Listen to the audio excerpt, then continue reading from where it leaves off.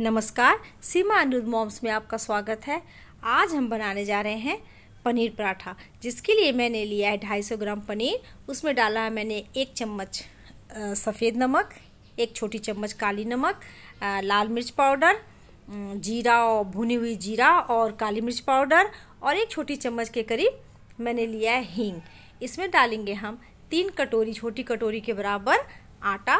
इसे हम बिल्कुल वैसा डो तैयार करेंगे जैसे हम रोटी बनाने के लिए या पराठा बनाने के लिए हम तैयार करते हैं। बिल्कुल इसे अच्छे से गूँथ के वैसा ही डो हम तैयार कर लेंगे। यहाँ आप देख रहे हैं इसको कुछ देर के लिए आप गूँथ के और 10-15 मिनट के लिए आप ढक के रखिए। इससे इसमें बहुत अच्छा सॉफ्टनेस आता है। तो यहाँ हम तैयार कर रहे हैं पराठा। जैसे आप नॉर्मली पराठा बनाते हैं ना, आप वैसे पराठा इसे बना लीजिए।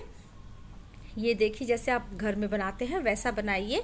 और इसको देखिए दोनों तरफ़ से आप हल्का हल्का घी लगाइए, तेल लगाइए। मतलब आप जो खाते हो, वो लगाइए।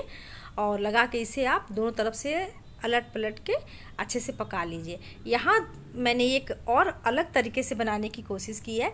ये हमने बीच से कट कर दिया है रोटी को और उसमें लगा दिया थोड़ा सा घी और उसको हम ऐसे हाफ़ हाफ़ करके फिर उसमें घी लगा के फिर हम इसको ऐसे बिल्कुल पराठे के जैसे ही हम इसको बेलेंगे।